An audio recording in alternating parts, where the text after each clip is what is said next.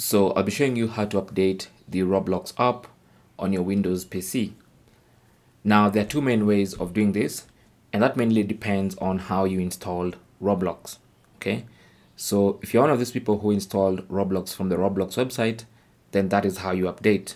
So go to your favorite browser and then go to roblox.com and log into your Roblox account. Once you go to Roblox and log in, then you can launch any Roblox game. Just click on the game name and then click on this green icon to launch. Okay. Now, when Roblox is trying to start, it will let you know if there's an update available. All right. So as you can see, if there's an update available, it will let you know. And if there's none available, you can simply click on Roblox and that's going to launch Roblox for you.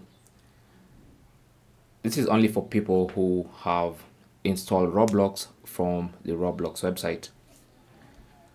Now, the other way you can install Roblox, or rather the other, the other way you can install the Roblox update or update Roblox is for people who installed Roblox from the Microsoft Store because you can actually do that. So go to the Microsoft Store, you can either click on the icon in the taskbar or go to the start button and search for Microsoft.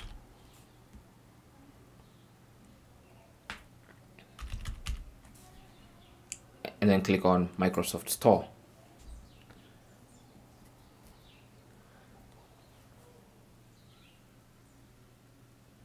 And once the store is launched, simply look for Roblox. Just search Roblox. And here we have Roblox, as you can see. Now, if you did install Roblox from the Microsoft Store, then instead of saying get, if there's an update available, this button will say update or you should see the update option somewhere here. And all you have to do is click and it's going to update your Roblox app. So those are the two main ways of updating Roblox on your Windows PC.